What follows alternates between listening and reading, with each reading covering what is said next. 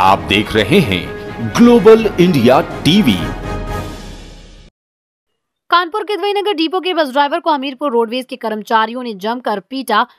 यात्रियों को बस में बिठाने को लेकर की मारपीट, तभी नाराज़ के द्वैनगर डिपो के चालक ने बस स्टॉप के सामने बस खड़ी करके लगाया जाम। पुलिस को सूचना मिलने पर मौके पर पहुंचकर मामले को कराया शांत। हमीरपुर सदर कोतवाली क्षेत्र के रोडवेज़ बस स्टैंड का है पूरा मामला।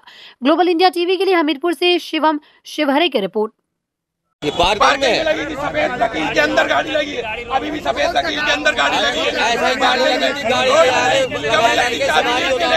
और ऊपर से कहा इन्होंने गाड़ी बढ़ाओ तो कहा गाड़ी बढ़ाओ मुझे नहीं चाबी ले गए इन्होंने मेरे साथ में बहुत भयंकर मारपीट की ये डंडा से मारा ये डंडा।